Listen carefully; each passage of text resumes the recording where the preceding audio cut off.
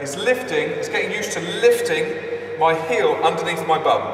Not like this, so you're getting, not that, it's just here, here. So you can do this against the wall, because that helps that heel come underneath. And in the meantime, the foot is cocked, foot is cocked, or in neutral position, not just hanging down, and also not that.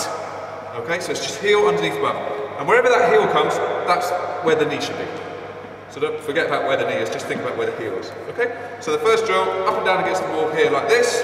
Then you can combine that, the next progressing once you've got that, then into a skipping.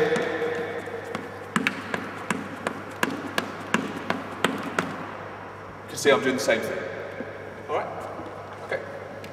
What might happen, as just happened when I coached the guys, is instead of, as soon as we've done this, everyone's quite quick, so up and down, up and down quick.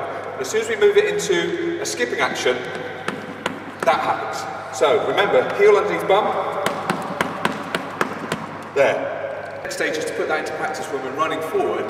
And so what I find helps sometimes is just get into the drill first, do that skipping drill, thinking about heel coming underneath the bum, and then change that into the run.